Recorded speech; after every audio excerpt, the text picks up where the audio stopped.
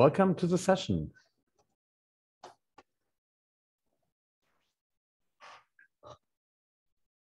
Welcome everyone to the session on eye health, an underestimated global health challenge, innovations in eye health to achieve universal health coverage. I am Dr. Babar Qureshi. I'm the Director, Inclusive Eye Health and Neglected Tropical Diseases for Christian Blind Mission. And I'm very pleased to welcome you on behalf of the co-hosts of this session, which is which are the Christian Blind Mission, the International Agency for Prevention of Blindness, the German Ophthalmological Society, and the Lancet Global Health Commission on Global Eye Health we have a session which is divided into two sections. The first sections or the first section is with four speakers, four very eminent speakers.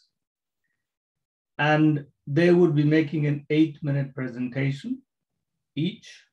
And that's going to be followed by a panel discussion of some very distinguished guests that we have this morning. And I would also urge all of you to please send in your questions through the Q&A chat in the Zoom function that you already have, so that we'll be able to take up a few questions at the end from the participants of this session. I think with this little introduction, uh, I really look forward to this wonderful morning uh, session on eye health today. I'm very pleased to announce our first speaker. That's um, Dr. Mrs. Alarcos Cieza. She's the unit head at the World Health Organization in Geneva and leads the agendas on vision, hearing, and disability. Prior to this, she was the professor of medical psychology at the Faculty of Social and Human Sciences at the University of Southampton in the United Kingdom. Dr. Alarcos, you're welcome. Thank you. Thank you, Babar. And I'm excited to be here with all of you today from the World Health Organization and to talk about uh, the relevance of eye care as part of universal health coverage. And you know, when uh, I talk in front of an audience about the relevance of eye care. Usually it is easy to make the case because I can assume with a lot of confidence that at least 50% of the audience wear glasses or contact lenses, lenses and can imagine very, very well what would be their situation if they would not have access to these eye care interventions. And um, can imagine very well how difficult everyday life would be. And imagine this is the case of 800 million people who have vision impairment due to refractive errors and do have not do not have access to a simple intervention like uh, glasses. It is also the case and the experience of uh, at least 100 million people who experience vision impairment or blindness due to cataract and have not have access yet to a cataract surgery. And the reason why I portray the example of these 900 million people is because their lack of care could be addressed if we would be able to provide two of the most cost-effective interventions in the health sector, glasses and cataract surgery. So we are really letting down nine, at least 900 million people around the world. And we are letting down all these people around the world, but I, we are also letting down really society as a whole.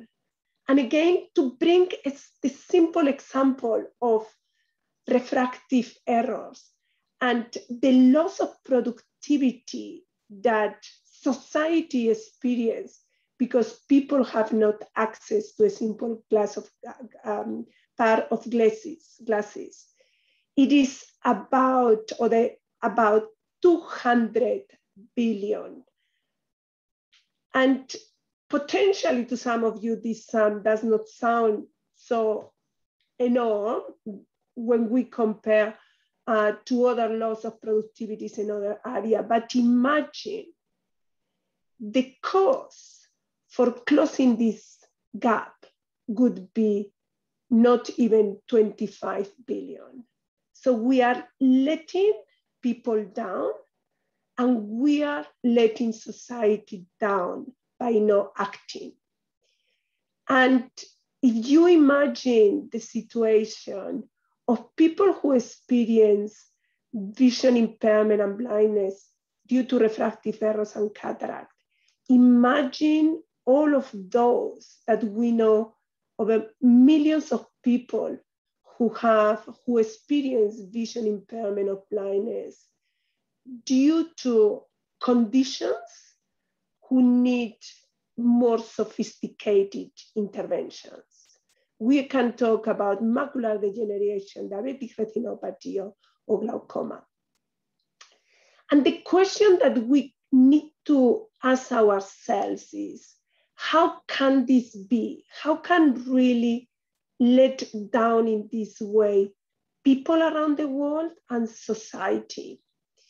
And this was the question that we address at the war, in the World Report on Vision. And of course, there are many factors that lead to this situation. But there is one key that we identify in the World Report on Vision, and that is the lack of integration of eye care services in the global health agenda and the global health services. In many, many countries of the world, still eye care is not part of the conversation of universal health coverage when interventions are decided or the what interven or the, the interventions are decided that need to be funded without out-of-pocket payment.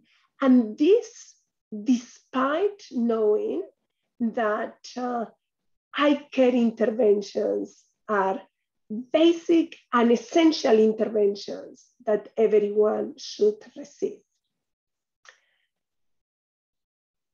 And this is because related to the lack of integration and having moved forward the ICANN agenda in a more parallel fashion and not in an integrated way.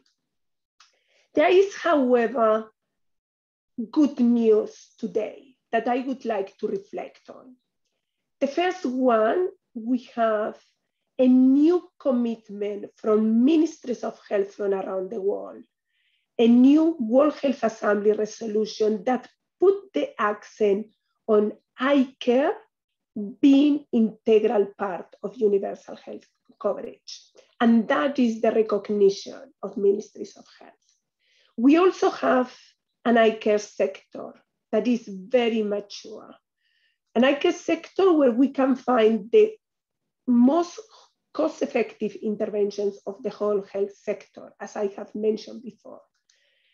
A sector that has a long tradition of public health, a sector that has a very powerful and coordinated advocacy, also a sector that has a very strong public private sector that needs to be coordinated with the public sector.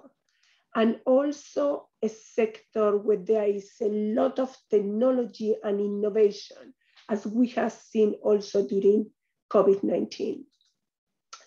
We also have more and more technical tools. And I need, want to refer to those technical tools that WHO is developing and that we support that integration. Let me mention two of them. The first one is a package of eye care interventions that will be fundamental for the discussion in the context of the decisions of universal health coverage, and also a toolkit on myopia that will facilitate this, this conversation of integration of the eye care sector in the global uh, um, um, health agenda. And we have a commitment from ministries of health. But today, and from this year, we also have a commitment at the level of um, head of states, and we have a UN General Assembly resolution on vision. And both ministries of health and heads of states have put, forward, have put forward a commitment to action and to monitoring the progress that we are doing in the eye care sector. They have put forward this commitment by endorsing two targets for the care sector. 30% increase of ineffective coverage of cataract surgery and 40% increase in effective coverage of refractive error. But the significance of this commitment to action and to monitoring relies also in the fact that ministries of health and head of states have endorsed those global targets, not only to strive change and progress in the care sector, but also as a mean for progress toward achieving universal health coverage. And in both resolutions, in the one endorsed by ministries of health and the one endorsed by health of states at the UN, recognize these two global targets and the indicators to monitor them as indicators that need to be integrated into the monitoring of universal health coverage is a message to advance universal health coverage through eye care. And at this point, there is only one more message to say. Please, let's get it done. Let's advance universal health coverage through advancing integrated people-centered eye care. We owe it to the millions of people around the world that need eye care and today do not receive it. Thank you, Babar. Back to you.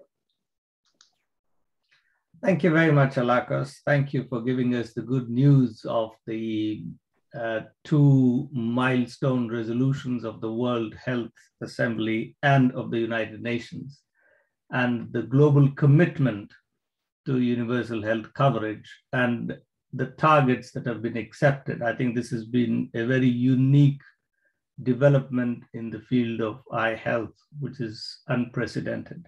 Thank you. With this, um, let me invite our next speaker, that is uh, Professor Matthew Burton. Professor Matthew Burton is the director of the International Center for Eye Health at the London School of Hygiene and Tropical Medicine He's also the co-chair of the Lancet Global Health Commission on Global Eye Health and led the global the Global Lancet Commission paper that we all read on eye health. Professor Burton.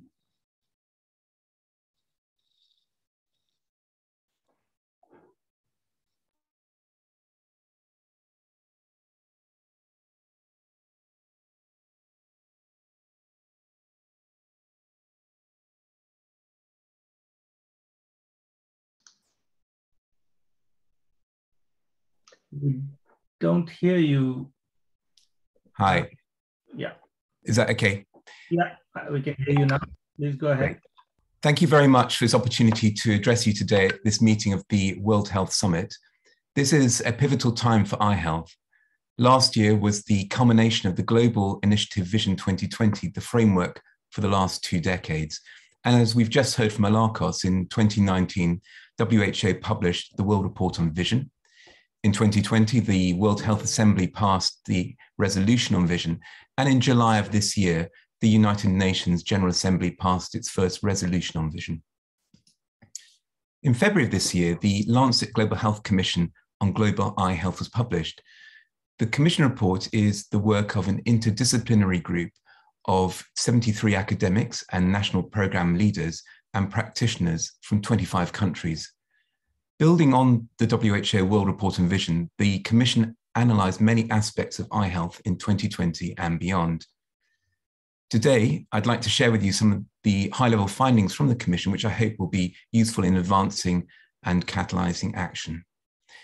The Commission explores eye health from several different perspectives the broad importance of eye health, the scale of the challenge, the economics of vision, the research needed, and finally, looking beyond 2020, delivering high quality eye care for all. The Commission uh, examined the importance of eye health from several perspectives, including its impact on quality of life, general health and well-being, and mortality. Our starting point was a systematic review of the published literature for studies of the relationship between interventions to improve eye health and the impact of this on the Sustainable Development Goals. Briefly, we found evidence that the provision of eye care services is associated with improvements in workplace and economic productivity, household consumption and income, and employment.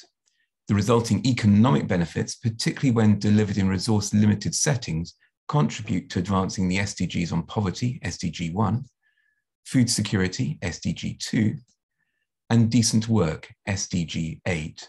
For example, a trial showed that the provision of free spectacles for tea workers with near vision impairment in India improved workplace productivity by 22%. Educational performance is linked to vision. Children with vision impairment have poorer educational outcomes and are more likely to be excluded from schools. We found evidence that providing spectacles to children improves their educational outcomes, supporting quality education, SDG 4, with effect sizes at least as large as other health care interventions. Improved education is crucial for development, reducing poverty and hunger, and enabling work, so SDGs 1, 2, and 8. Women carry a greater proportion of vision impairment than men, and so addressing vision impairment, improving eye health is relevant to both gender equality and reducing inequalities in general. A study from Kenya, Bangladesh, and the Philippines found that people with vision impairment from cataract were poorer and reported a lower quality of life than their neighbors. One year after cataract surgery, this gap was gone, with no difference in the markers of poverty, such as household expenditure. SDG 3 and SDG 11 include targets to reduce road traffic injuries, a leading cause of death in children and young adults. Multiple studies report associations between some eye conditions and motor vehicle collisions, whereas cataract surgery leads to reduced driving difficulties and fewer collisions. Globally, healthcare contributes around 5% of greenhouse gas emissions. Eye care as a high volume service is probably a significant contributor to this. The Commission found limited research on the environmental impact of eye healthcare delivery However, we noted that practices and their environmental costs can vary substantially, suggesting opportunities to reduce the environmental impact of eye healthcare delivery, which requires further research. Impaired vision and eye health can have a broad impact on general health and well-being SDG 3. In a series of analyses, we mapped out the complex connections between eye health and general health impaired eye health has widespread direct impact, for example, exacerbating depression and dementia, increasing cardiovascular disease risk through reduced physical activity, and increased risk of injuries. Encouragingly, evidence indicates that interventions improving eye health can benefit general health. For example, cataract surgery can slow the rate of cognitive decline in dementia. Vision impairment and eye health are often perceived to have little effect on mortality. This figure summarizes the findings of a systematic review and meta-analysis performed by the Commission of population-based longitudinal cohort studies reporting vision impairment and all-cause mortality. We found clear evidence of increased mortality risk with increasing severity of vision impairment. When compared comparable studies were compared, the mortality rate of mild vision impairment or worse was 1.3 times, for moderate or worse, 1.4 times, and for severe, it was 1.9 times. Our overall conclusion is that improving eye health and reducing vision impairment is an important, if not essential, enabler to the achievement of the SDGs. In this diagram, the solid green arrows radiating out from improved eye health indicate direct effects, and the black arrows indirect benefits. We have found evidence that the provision of eye care services is associated with improvements in economic and productivity and income, advancing poverty reduction, general health and well-being, educational outcomes, and reduced inequalities. As part of the work of the Commission, we explored aspects of the economics of vision. We developed a new estimate for economic productivity loss attributable to vision impairment using the latest data on the number of people with unaddressed distance vision impairment in 2020, the latest World Bank GDP data from 2018, employment rates, and the relative reduction of employment amongst people with vision impairment. We estimated a global annual productivity loss of $411 billion. The Commission updated the cost effectiveness analyses for cataract surgery and refractive error services from several world regions, which together account for around 90% of unmet need. The good news, as Alarcos mentioned, is that both are highly cost effective interventions. The Commission has 10 key messages in summary. However, our most important message can be found on the front cover. Investing in universal eye health is a realistic, cost effective way of unlocking human potential by improving health and well being, education, work, and the economy. It is essential to achieving the Sustainable Development Goals.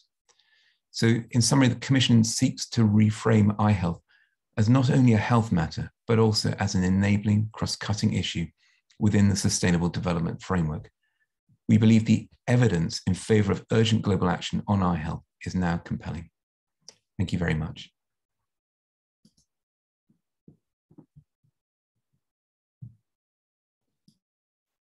Thank you very much, Matthew. Thank you. That was a great achievement. Um, having been part of this, I think it was an extremely huge task to bring it all together and actually bringing eye health into the whole development agenda. And I think this paper really made a significant addition to our knowledge generally of what's happening. So thank you very much, Matthew. So these two uh, presentations have given us a broad global perspective of what is happening within the sector of eye health, the commitment to eye health, and its development into the development agenda. The next two presentations are going to be looking at the field level. How do we implement this innovatively when we take all these things that we've heard this morning into the field? And the first presenter uh, on the next piece of these presentations is um, Dr. Andrew Bastawrous who is the CEO um, and co-founder of Peek Vision UK. And he's also the associate professor at the London School of Hygiene and Tropical Medicine. Andrew, we're very happy to have you. Thank you, Babar. Thank you, everyone, for listening in. Um, I'd like to build on the amazing work that Alarcos and Matthew have shared um, and to begin with, just to share the story of Mama Philip, who's a grandmother who's been blind for 10 years from cataract, one of the hundreds of millions of people that Alarcos mentioned have a curable, reversible condition. Uh, and the knock on effect is beyond her own life. Here's her grandchild no longer in school, acting as her eyes. So the impact of vision is, is huge, both on an individual, family, and societal level. And Mama Philip is representative of the many people who have an unmet eye health need that has been beautifully articulated and described in the work of both the World Report on Vision and the Lancet Global Health Commission that shows of the 1.1 billion people today with an unmet need. Now, in the same time that this data has been gathering, the world has moved through a technological revolution to the point that four in every five people on the planet today own a connected smartphone. That's 6.3 billion people. And that was the motivation many years ago for the development and testing of Peek. Peek is a validated evidence-based tool to try and meet those needs of those who have an unmet eye health need. I'm just going to touch briefly on some of the validation of the work that's been done to date. So the first is the validation of a mobile app to measure visual acuity in the hands of non-eye health workers, enabling greater reach and access in communities and schools. And it's been validated against standard uh, measures that would be used in trials, proved to be as accurate and repeatable as clinical standards, and faster to deliver than both. The mobile app is globally available for free. It's currently being used in 190 countries um, and has been uh, proven in multiple systematic reviews since. But measuring vision alone doesn't solve the problem. It's, it's integration into programs and care that is critical. And so we've been utilizing this in school eye health programs and in a cluster randomized controlled trial in Kenya we were able to demonstrate that many children in any given school context have a vision impairment, but they're difficult to identify. And if a expensive resource in the eye health system, such as an ophthalmic nurse, has to go and identify them, they are typically leaving the hospital setting to go and, and provide that assessment, which is hard to justify when maybe 90% of those don't have a problem. And so what we were able to test was was it possible for a teacher to roam around schools and identify those children with a vision impairment so that the ophthalmic nurse could then assess them? And we were able to show they could do it reliably and also connect those who had been found with a problem to their parents via personalized SMS and also to the service provider in real time to close the loop so that the hospitals would know how many are due to come uh, and whether or not they had uh, arrived. And in the initial trial, 21,000 children were screened, 900 were identified with a vision impairment, and that was delivered by 25 teachers in nine days.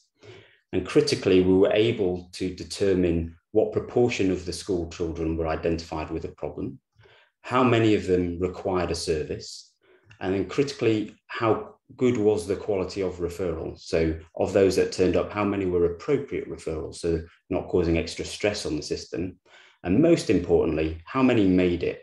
Or to look at it another way, who didn't? Who was left behind? And only once we see who is being left behind can we start to transform that situation.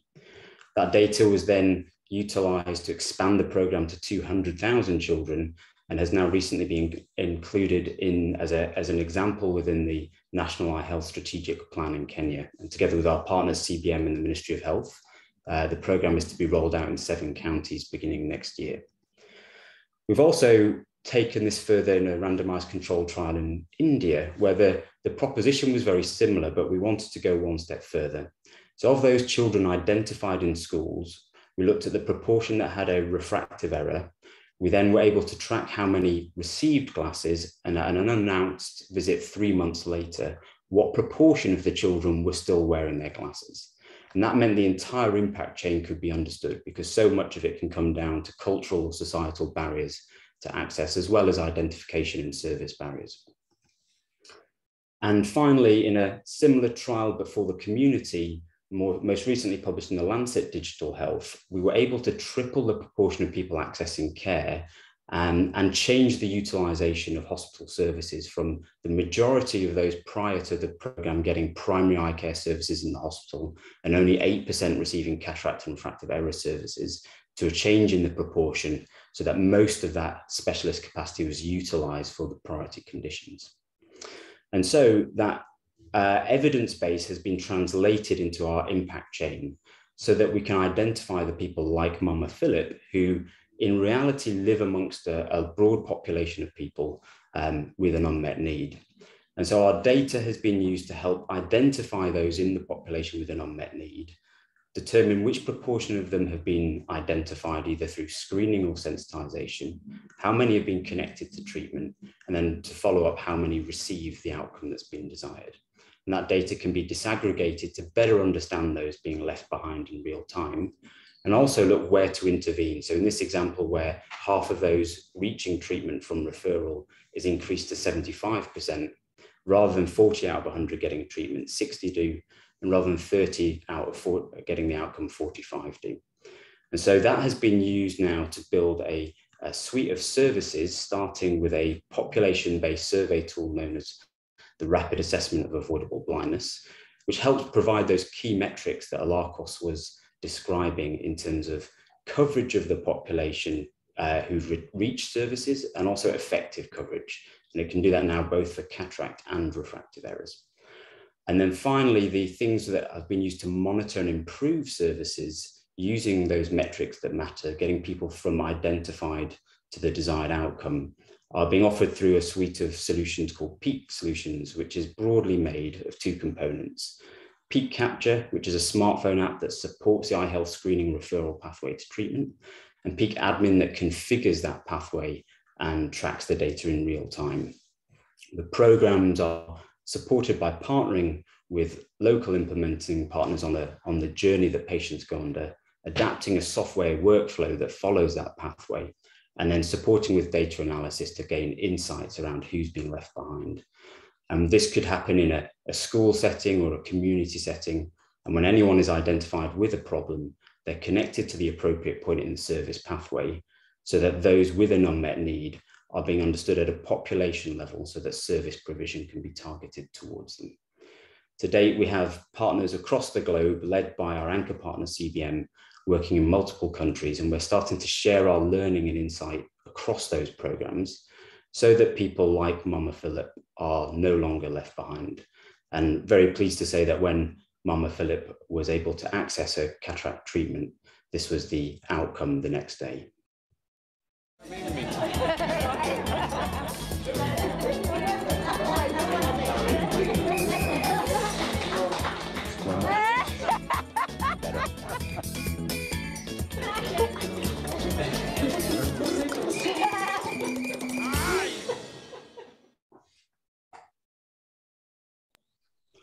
Thank you for listening. Thank you very much, Andrew. Thank you. Um, CBM has partnered with Peek um, and taken Peek as a tool on a public health scale. And uh, I can certainly say that it has improved uh, the reach and to the number of people we reach. But more importantly, it has improved the reach to people who are unreached. You can actually track those people who, who do not get the treatment that is required and something that Alarcos alluded to this morning. So it's a very helpful tool.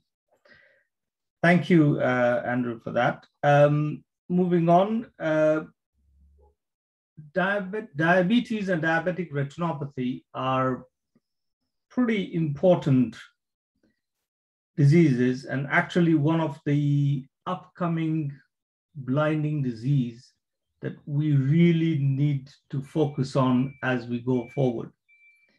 And looking forward, what are the innovative ways that people are employing at the moment in the field where diabetic retinopathy is already becoming quite a massive problem?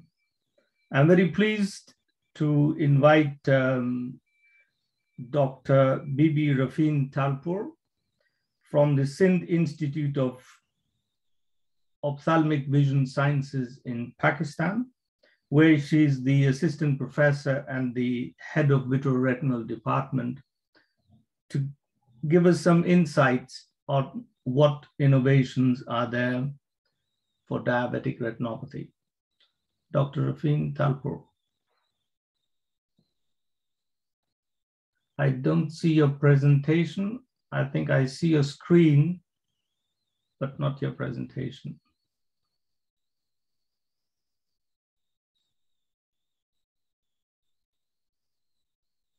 Yes.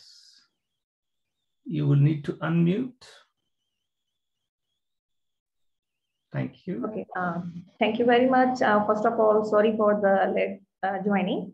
And uh, thank you very much, dear colleague, for inviting me on this prestigious platform to deliver my presentation on innovative approach in diabetic retinopathy. Okay, it's uh, uh, before going to my presentation, I just give you the brief introduction of my institute. Sindh Institute of Ophthalmology, the only eye care institute in Pakistan established through the legislation of Provincial Assembly of Sindh by upgrading the status of Liaquat University of Eye Hospital, Hyderabad during the year 2013. SIU is upgraded to a degree awarding institute in the year 2019 Health Department, uh, Government of Sindh notified SIUS as an implementation center for Sindh prevention and control of blindness in the year 2013. SIUS not only offered the patient care service, but it is the best institute in teaching, training, and research in the field of the ophthalmology in Sindh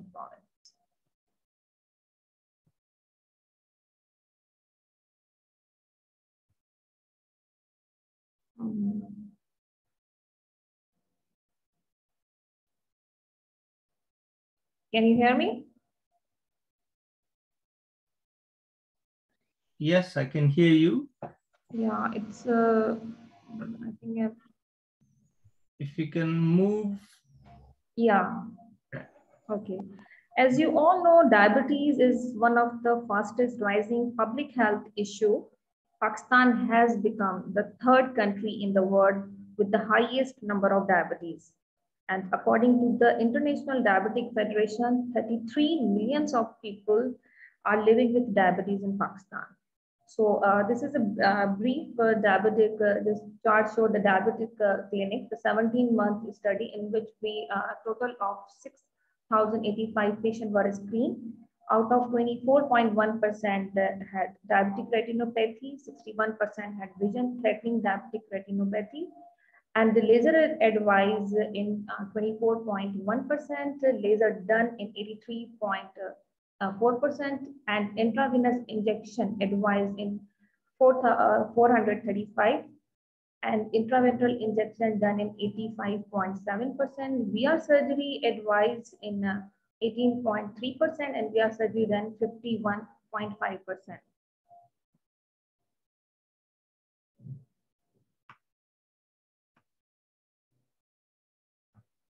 Take time to switch on another slide. Okay. So this is the conventional method which we do at, at IAVS for the screening and the treatment of the diabetic retinopathy. So first of all, patient register and then refraction and best corrected visual acuity done.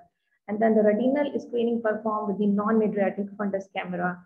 And then these patients are divided according to your uh, fundus finding, either no diabetic retinopathy, these patients refer to the journal ophthalmologist over there, they uh, either call the patient for the follow-up or the patient have cataract or glaucoma problem, then they send, refer to these patients to the sub-specialist clinic.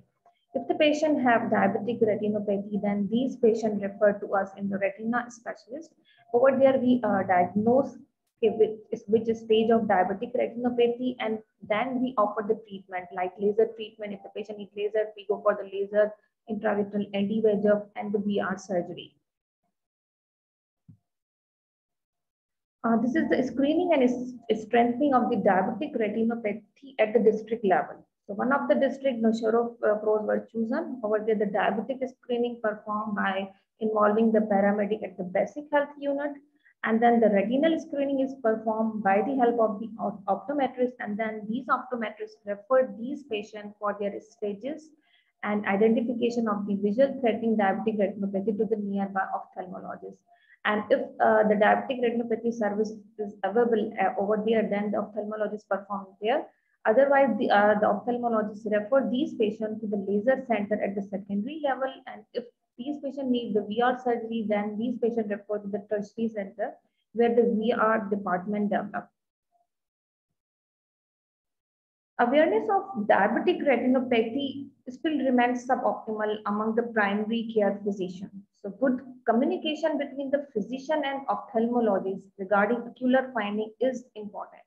So the chain of the partner is to be developed for the better management of the diabetic complication, including the diabetic related blindness. The diabetologist, physician, family physicians uh, should consult the patient, should refer the patient to the ophthalmology and the nephrology and ophthalmologists and nephrologists refer back these patients to the diabetologist and the family physician to control their systemic disease. Innovative uh, technology in diabetic retinopathy uh, referral and treatment with community sensitization. So teleophthalmoscopy uh, is one of the uh, good approach and SIU is, is strengthening its IT department with the support of the CBMP at the district approach. CBM uh, one Peek project in Pakistan, which is uh, currently limited to the screening and the referral for the diabetic retinopathy. But CBM should extend work on providing a one-stop services for the diabetic retinopathy care that provide all essential diabetic related services under one roof at the district level. Artificial intelligence, see, uh, we should, in future, we should work on the implementation and the using of artificial intelligence in establishing the screening, diagnosis, and treatment of the diabetic retinopathy at the district and the taluka level. We need, as per year prevalence of diabetic is increasing, so obviously diabetic retinopathy is also increased. We, so we need more human resources, like we need more optometrists, social mobilizer, more ophthalmologists, more medical and surgical retina specialists. We need more equipment like the smartphone camera, the non-mydriatic fundus camera, which is the effective alternative of direct ophthalmoscopy for examining the fundus, and it is the easier way to detect the ocular finding. Ophthalmologists at Taluka at the district health level, which grade the diabetic retinopathy and then treat them according to their condition, licensed with the tertiary center and good referral chain, functional hospital management information system and monitoring at the PSP cell level by community ophthalmologists under supervision of professor of ophthalmology of nearby tertiary center. A synchronized effort of uh, CBM and the government of uh, uh, Sindh on screening and referral for diabetic retinopathy can support us to create a lasting impact on the lives of millions of people. Thank you.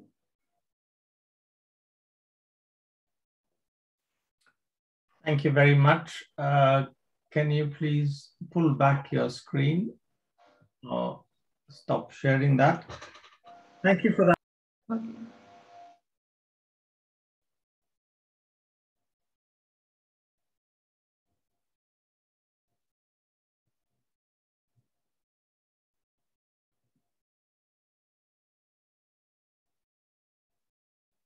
Uh, sorry for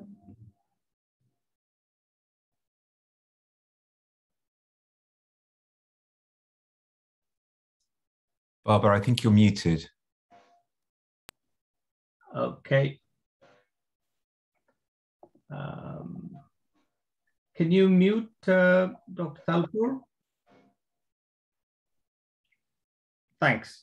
So the cornerstone of the diabetic retinopathy is certainly the collaboration with the physicians and uh, the diabetologists because the glycemic control is key to ensuring that we get the right uh, treatment and results of diabetic retinopathy.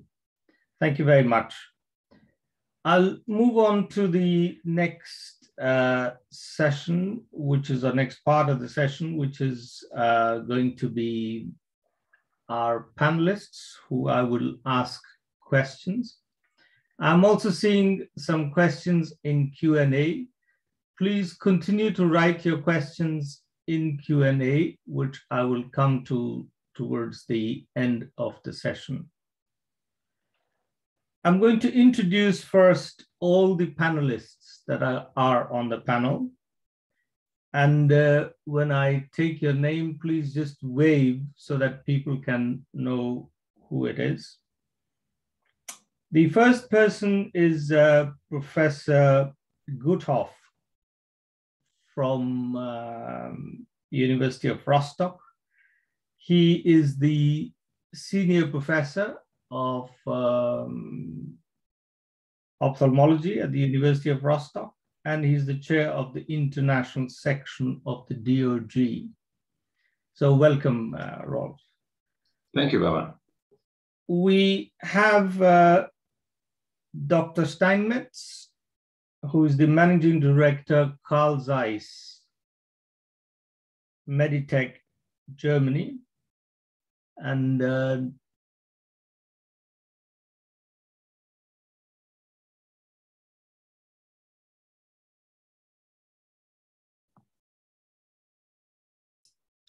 Babar, it's muted again.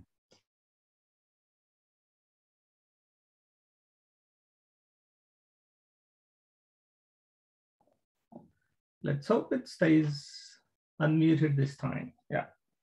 So Mr. Steinmetz is the managing director of the Zeiss Medical Technology segment in Germany and has more than 20 years of experience in different markets and roles in management, sales, and marketing.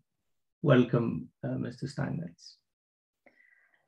We have uh, Professor Helene Boisjoly from Canada. She's a professor of ophthalmology at the University of Montreal and has been the dean of the School of Medicine at the University of Montreal.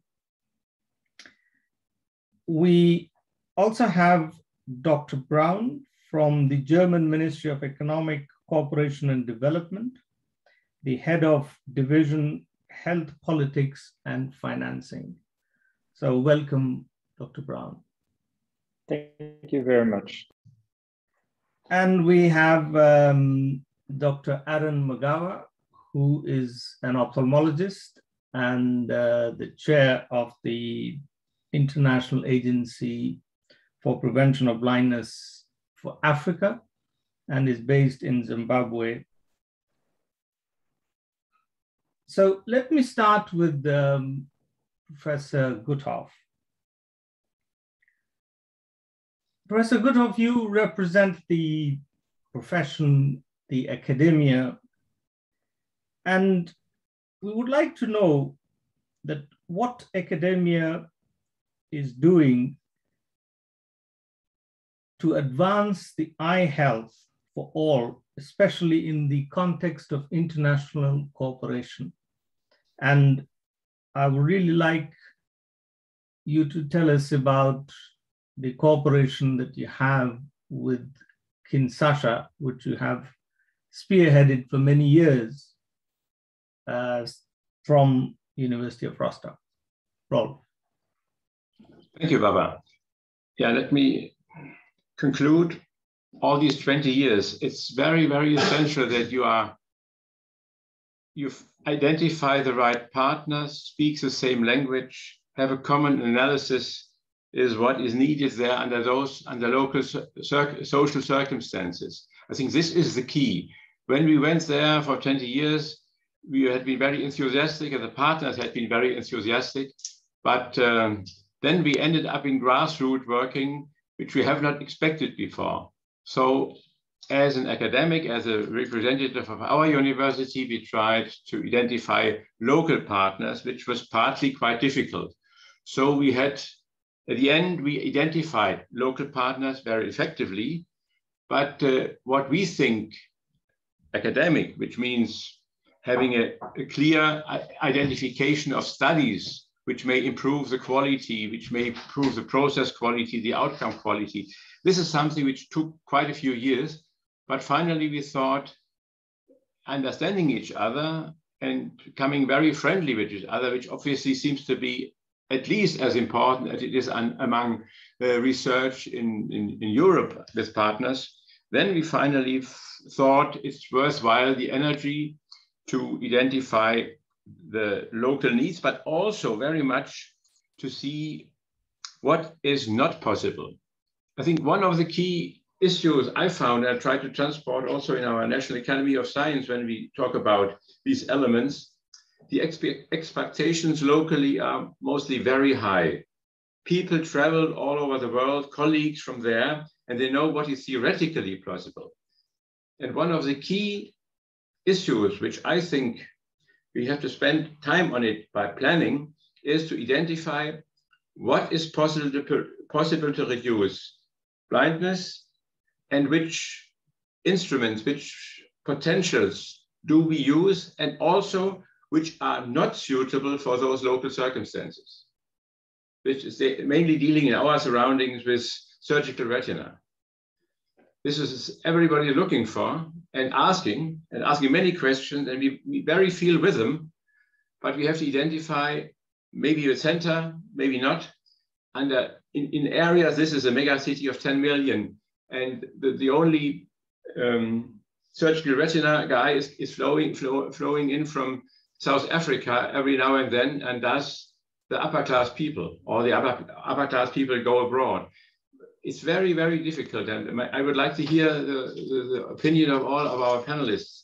How do we address the point to, to be to be open-minded and helpful as we can, but also to address the limitations.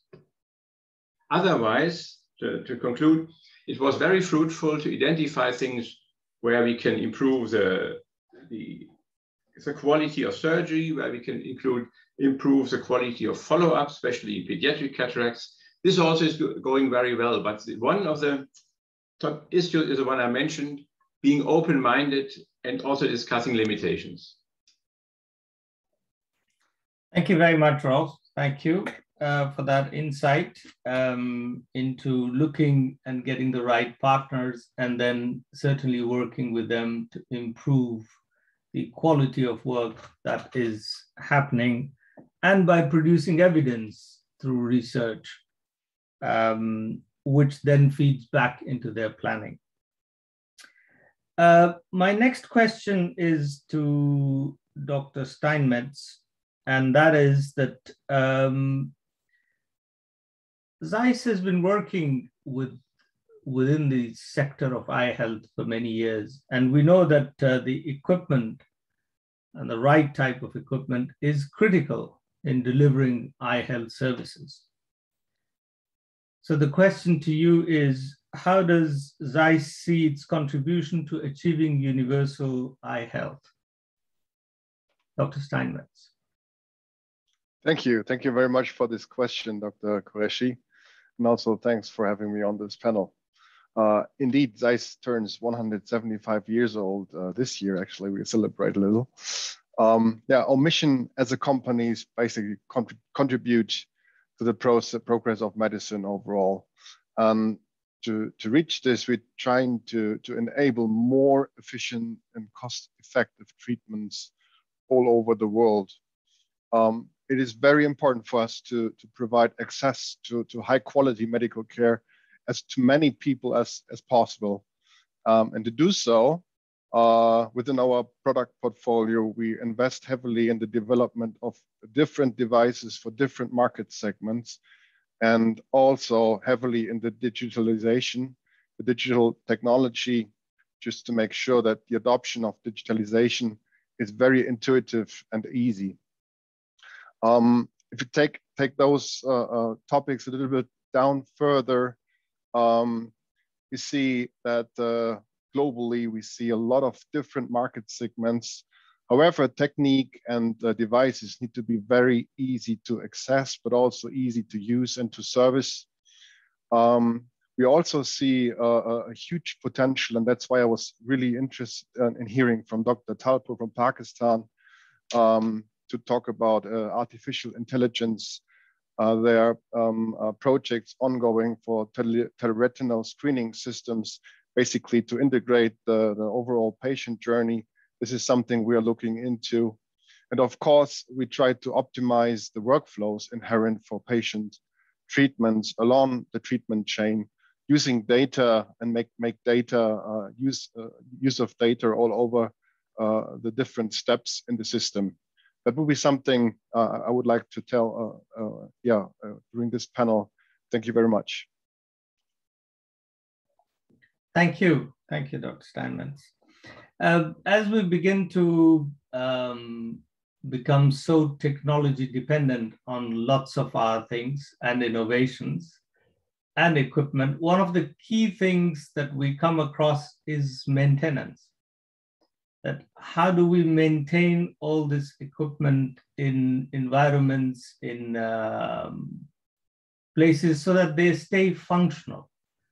Because we, we do end up having lots of equipment, but then the maintenance piece is something that's also uh, critical for everyone. Would you just like to make a comment on the maintenance piece, uh, Dr. Steinmetz? Uh, I know Zeiss does quite a bit on that as well. Yeah, thank you. Yeah, it's right, and it's it's not only a topic uh, for for countries where we're just talking about. It's also a topic, for example, the, the market I represent for Germany. You have so many devices, so many different maturity levels, so many segments you address. It's even hard to find the right pathway through those those those uh, devices. And what we are looking into is to, to, to, make the device more easy to access and to run those more from a central platform with regards to remote access on, and, and data. And also to make um, devices for, for different markets as easy as possible. Uh, for example, to look into phaco, it's an interesting example in my opinion. Phaco is very capital intense. So to, to have a cataract procedure with the phaco machine, etc., so it would be interesting to have a device in place which is less capital intense, which is more easy to use. We you can have uh, consumables, for example, in place. And those kind of topics are also in, of interest for us just to make sure that uh, each segment gets addressed in the best possible way. However, I, I have to admit it's a really, it's a big challenge for us also, also playing in every country worldwide to address all this kind of different um, uh, topics uh, at the same time. Would that make sense for you? Thank you. Yes, absolutely. Um, and I think uh, uh, since the co the contexts keep differing, the contextualized trainings might be very helpful at different service delivery points. Thank you very much.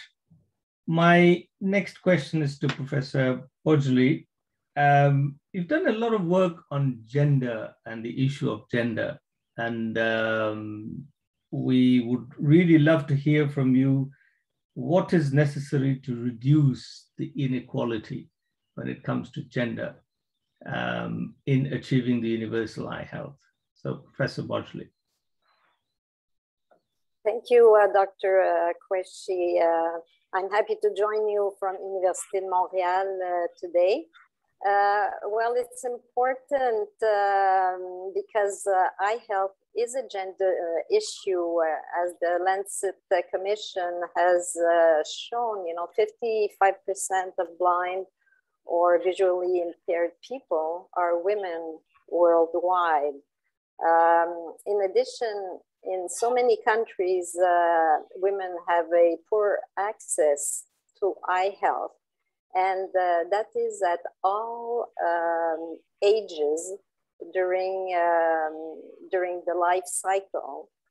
Um, so very uh, briefly, you know, uh, early on, uh, we spoke about refractive errors like myopia, and we know that girls have in many countries less access to education well, if you have unequal access to spectacles, uh, this is an added uh, obstacle to education for young women and also um, an obstacle to uh, very good or good education outcome and ultimately uh, to their future economic uh, independence.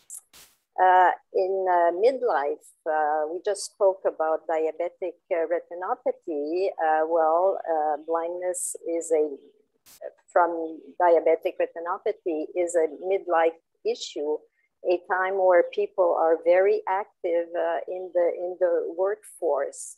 So not only equitable access to screening for diabetic retinopathy is important, um, but also all the lifestyle, um, you know, helping people with nutrition programs and uh, healthy lifestyles, uh, lifestyle when, when it is possible, because we have to remember that uh, improving uh, eye health uh, for people with diabetic retinopathy will not only improve um, women, uh, the health of these women, but also improve the workforce with the e economical um, uh, benefits. But we also have to think about their, their children who are likely to be future uh, diabetics. So um, if we can improve, uh, it, it, will be important.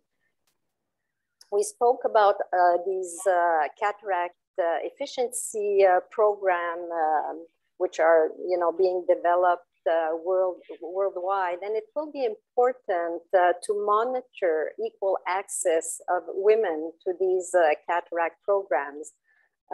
20 years ago, um, at University of Montreal and you know the regional health uh, system um, did put forth a, a program and um, we, we uh, saw a difference from the 90s uh, to the early um, 2000 years with regards to access of women to cataract surgery, even in a country like Canada. Now that problem has been uh, solved.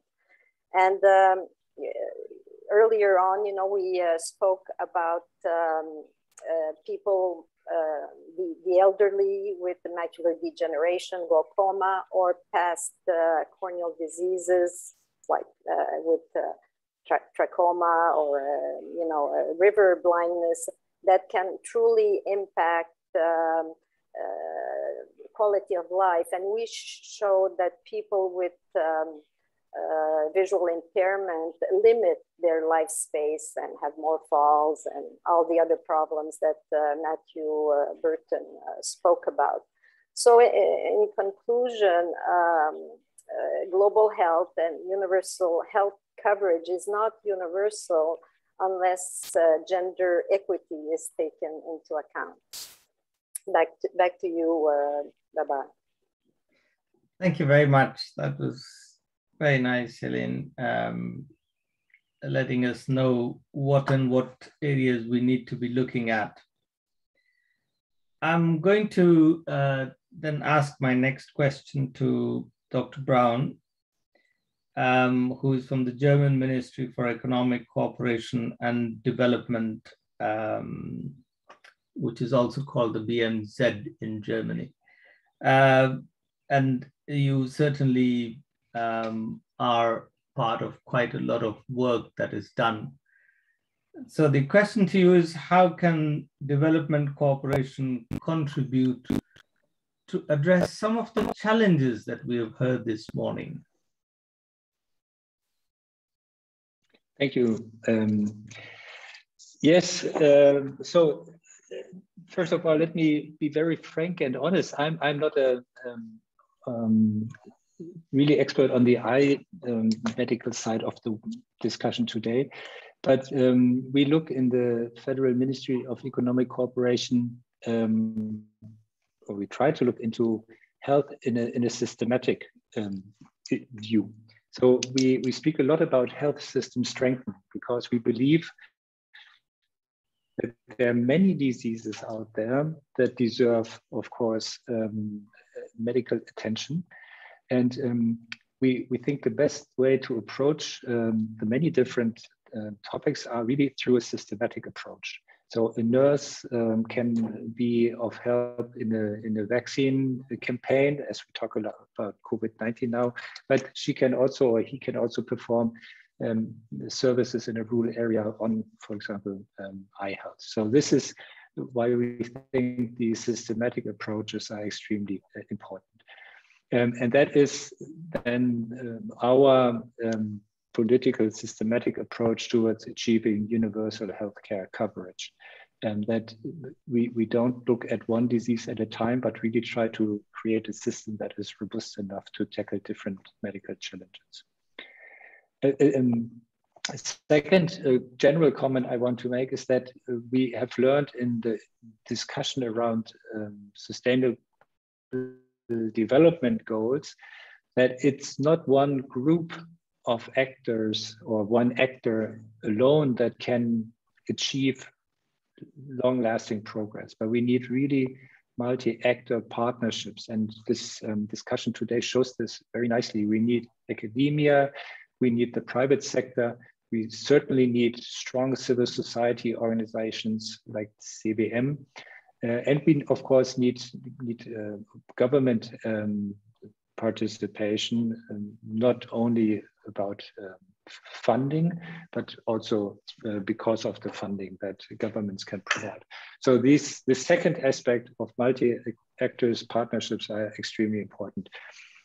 Third and fourth point I briefly want to mention, it's this human rights approach. Uh, we think um, it, it is extremely important to think of health issues as a, a human rights issue um, there is an entitlement to well-being and um, health, and out of this um, human rights approach, um, there can become great uh, benefit for uh, for the health system strengthening. And when I say human rights, this of course includes also the aspect of gender equality, and it was mentioned several times that we need to be um, gender sensitive in what we do. So these two elements uh, are very um, closely linked in our in our approach. And last uh, um, issue I wanted to raise is this economic analysis of health. And I found the, the numbers that you presented uh, thrilling, um, but it's um, again also something that we work on a very daily basis. COVID nineteen. We know the costs of a vaccine, but we know the costs of the damage this pandemic is leading to. And this is a similar case that you were making um, this morning. And I think that is um, not contradicting uh, the human rights approach, but it's, it's supplementing it. There is a, a, right in itself to well-being and healthy lives, but there's also a good sense, sensible economic case behind it. And this needs to be um, sewed together on a political level. Um, I could have mentioned now also the, the projects we support, um, but I thought these more general remarks are maybe from a development point of view, that that's what I can um, speak best about, uh, maybe more helpful to this panel. So um, if there's more time in the second round, I'm happy also to speak more on, on what we do on a concrete level in the project and program funding. Thank you very much. Thank you, Dr. Braun. And I think it might be just be a good point at the moment if you could just mention one or two programs that you actually concretely work on so that the audience gets to know what that would look like in real life. Thank you. Yeah, uh, I'm very happy to do that. We we have a program um, where we work with German um, hospitals, partnering with um, hospitals in um, partner countries, as we say. And there are five uh, German hospitals uh, working with clinics in Malawi, Rwanda, Kenya, Ghana, and India um, on improving eye health. And um, the, the, translation of the title is Partners Strengthen Health. Health. Um, in German, it's uh, Klinikpartnerschaften, so it's clinical partnerships and um, um, for example, the University of Tübingen is involved um, in one project with Malawi that I mentioned. Um, but um, that's that's one example. Then through our civil society um, funding streams, we work with CBM, and that is, as I mentioned, one one example where civil societies um, come in as an important implementing actor of um, health projects. Thank you very much. That's um, really very kind of you, actually alluding to the different um, areas that we need to be looking at strengthening and then actually putting it down into concrete terms. I will then move on to Dr. Aaron Magava. Um, Dr. Magava, uh, you've been an ophthalmologist. You've uh, in the Southern African hemisphere, and you've been the chair for IAPB Africa for quite some time. What do you think has to happen that eye health gets integrated as part of universal health coverage and especially the national health systems. Thank you very much, uh, uh, Babar, um, for having me here. Now, the first thing that we have to do is to celebrate our success as a sector. Uh, we've been having the Vision 2020 uh, you know, agenda, and that has achieved a lot.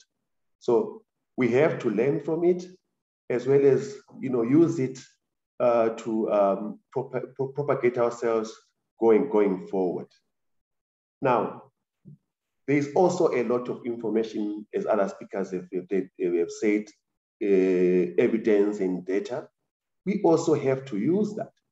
So the way we can use that is, is in this manner. You know, we have to increase the awareness, uh, you know, in understanding of eye health uh, amongst other people. So the non-eye health people have to understand exactly what we are about and what exactly we are trying to achieve.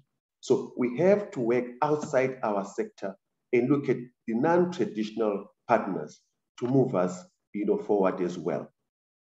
For this, like I said before, we have to use the evidence and the data which we have generated. But going forward, we also have to generate even more data, especially operational data, so that when we put our across our, our you know, our case, we have got enough to convince the people uh, you know, who actually are responsible for providing health, especially in the political arena. I come to the second point, which is related to, to what I've just been saying in terms of financing the health sector activities. So we need commitments, uh, you know, from the governments, you know, the Ministry of Health, uh, the uh, Economic and Finance Ministry, so that there is more money made available, you know, for, for the sector.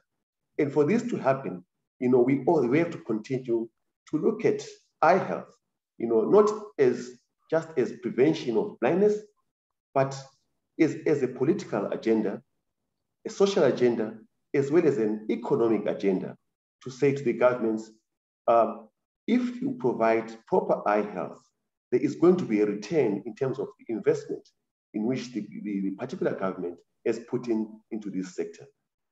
Now, that goes on to another point on how to exactly we work on the ground. So currently we have got situations where eye health is actually, uh, you know, delivered in a silo mechanism where uh, it's a vertical program rather than, uh, you know, a horizontal program. So we have to change that as well. So systems in country have to, uh, you know, be changed in terms of policy dialogues, which translate into policies themselves, uh, the health strategic plans, which include eye health strategic plans. And then we make sure that these plans don't just stay on the shelves, but they're actually op operationalized at the district level uh, when it comes to you know, the country, the countries or member countries uh, in, in question. We also have to look at what hinders the actual you know, um, provision sometimes in terms of the cost to the to the uh, you know patients or our communities. So rules have to be changed on the grounds. Rules around tax, because in most places, eyewear, a pair of spectacles is treated as a luxury. So that has systems or laws have changed, you know, around that. Now, you know, as a sector, you know, coming from the IAPB side, we have actually come together as partners or partnerships to try and see how we can actually move. So currently we've got uh, you know, a strategy we now have in place.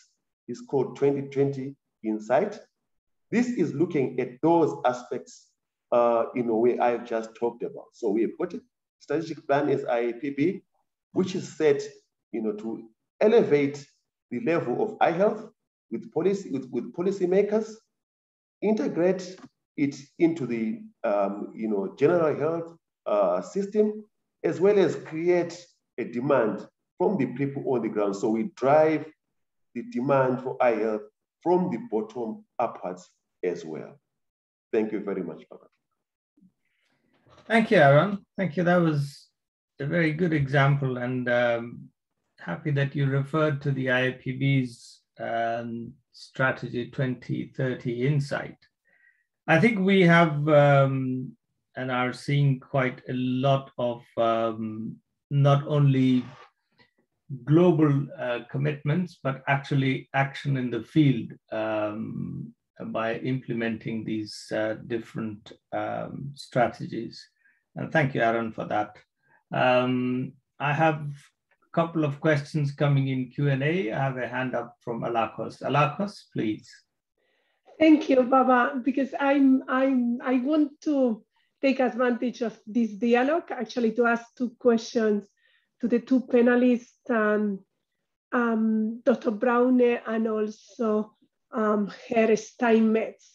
The first one to Dr. Braun, uh, because you, you, you put two examples of what you are doing to support the area of eye care.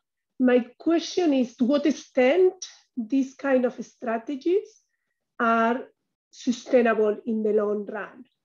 And the question is, what needs to happen so that that what Germany invest in health system strengthening also include in an explicit way, or the more that it has been so far in eye care.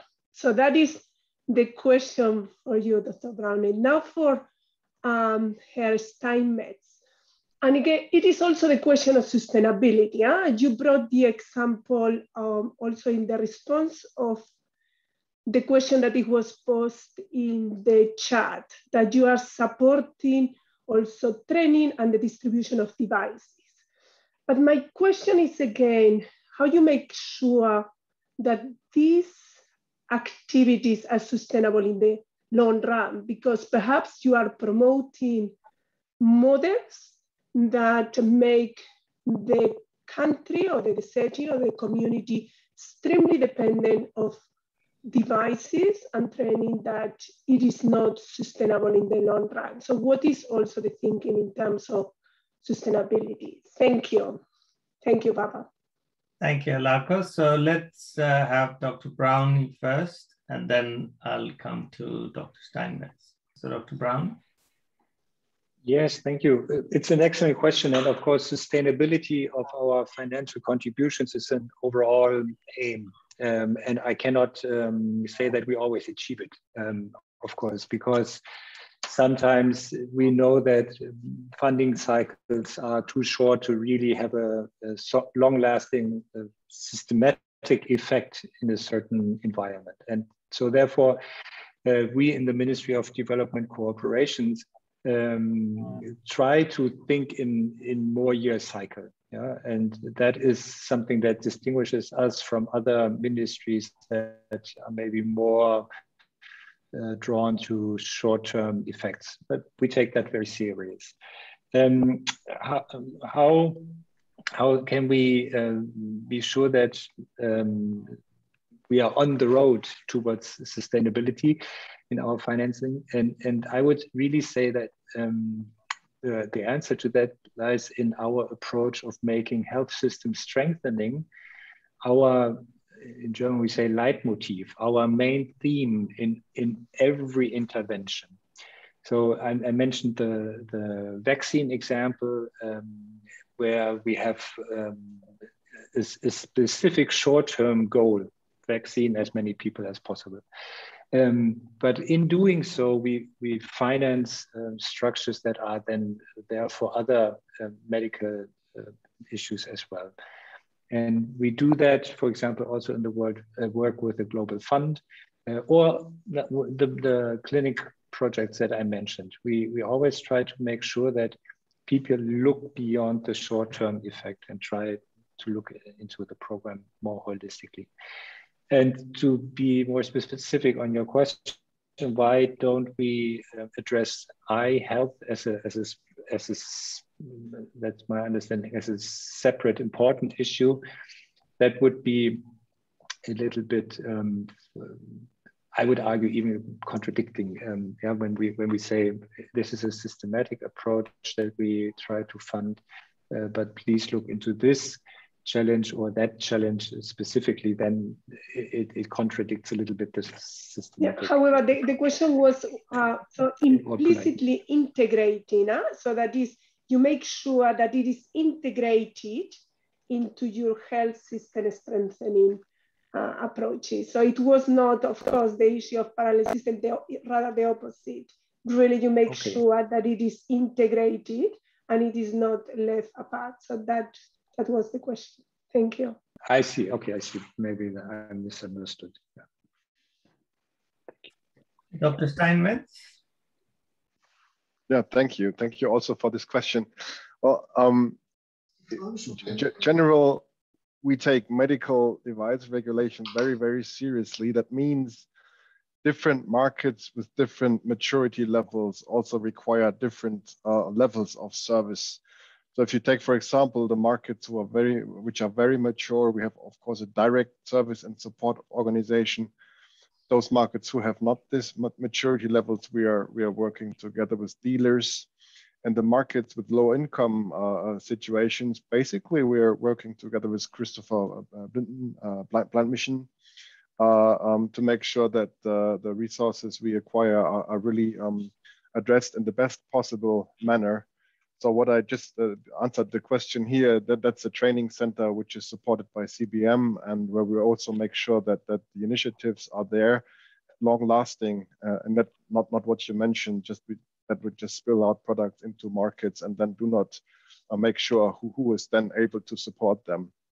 So uh, this is kind of the way we, we see this. Uh, I hope I could answer, answer your question accordingly.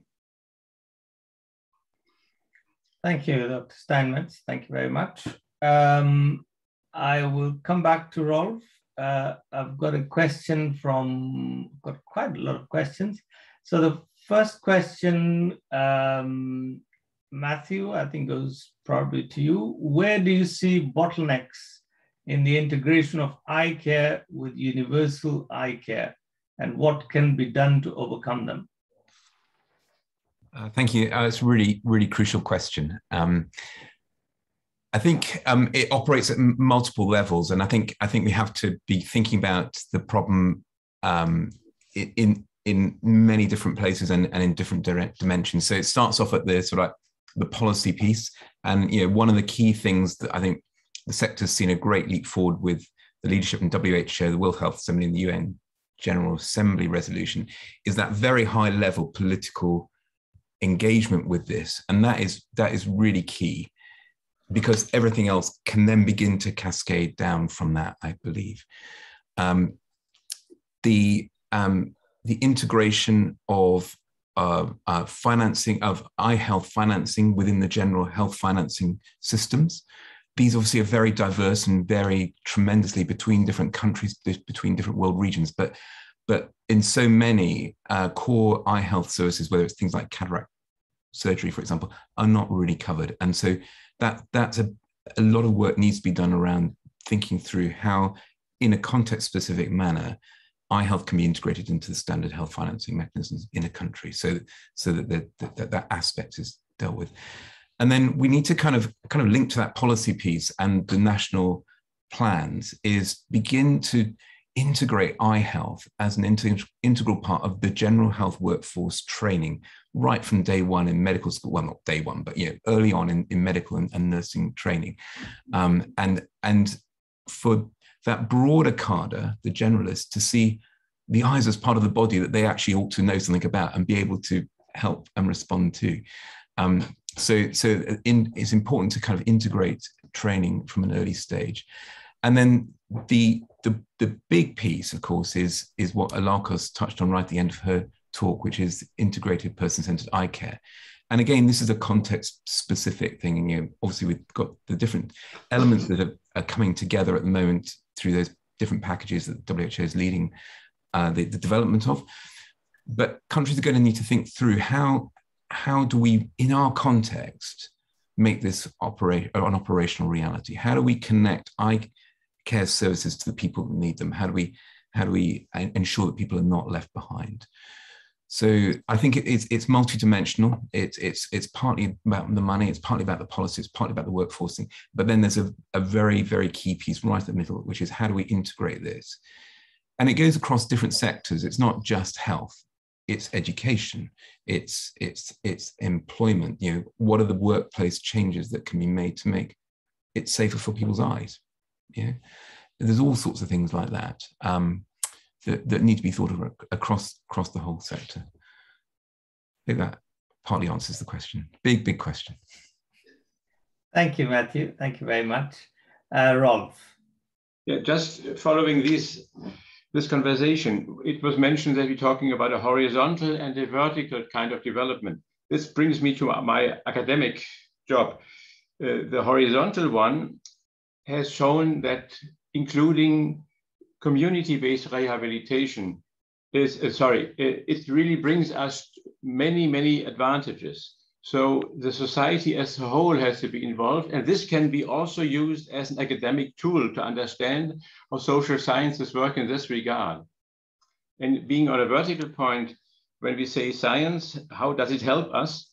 When we interact with our colleagues and friends, they are helping them to write together papers in peer-reviewed journals. It also brings people together, and we we went took them to the ARVO, we took them to German, of course, German meetings, and to the American Academy. This raises interest of more people than we thought in the beginning. So the horizontal and the vertical elements of academic work is really something we should take care of intensively, as mentioned before. Thank you very much, Rolf. Thank you. Very, very important and very critical in our work. Um, I have a, another question, and maybe Aaron, um, you could look at this. It's a very important question again that are the local health workers ready to deliver integrated health services? And how is the fluctuation, how is the fluctuation experience, especially on the community level for early screenings? And the question is quite large, but what can we do to increase readiness on this key power to solve problems in holistic health system on a local level? Thank you uh, very much, uh, Babar. Now, when we look at you know the health workforce, uh, we should probably look at it from uh, by looking at other departments you know of health who, are, who also uh, you know um, are there in the community. Now, I'll take an example of hypertension, for example. Hypertension is taken care of by the nurse, right at the, from the clinic level, right up to the tertiary level. Now, that has not been happening, you know, smoothly with, um, you know, uh, eye health. So we have to change. So non-eye health people should actually be involved in the delivery of eye health care. So like you mentioned, uh, rightly mentioned, Babar, we start at the community. So already in most countries, there are village health workers or community workers. We should also make sure that in their curriculum, there is the eye health sex, uh, part when they are actually being, being, being taught. So that will make sure that we actually expand our capabilities inside the communities in terms of how much health, eye health knowledge or treatment or delivery can be done at those levels. So we move away from working as eye health people on our own, but teach our other counterparts what we actually need them to deliver, you know, to the people. So integrate, you know, effectively on the eye health, on the, on the health worker uh, spectrum uh, in, in, in country. Thank you, Babar.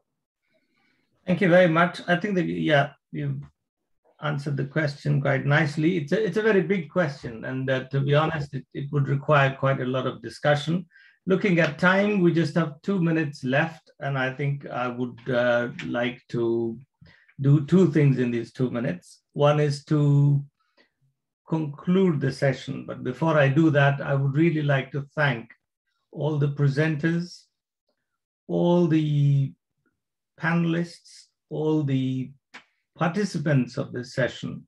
And I sincerely hope that you were able to gain quite an insight into what global commitments currently look like. What do we see and what do we look at going forward to 2030? looking at SDGs, looking at the whole eye care in the development perspective. and in a multi-stakeholder perspective. And then we should not remember that the action will always have to happen at the countries. That's where we would need a lot of evidence. We would need a lot of advocacy. We would need a lot of input from all stakeholders working in the country, with the leadership being with the government, with the government driving the whole agenda and all the stakeholders taking on a lot of partnership and working with them to achieve all the SDGs by 2030.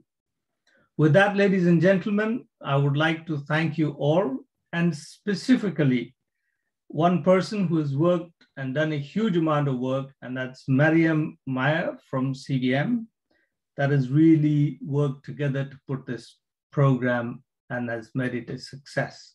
With that, I thank you all and I wish you a very good day. Thank you very much. Thank you. Bye-bye. Bye.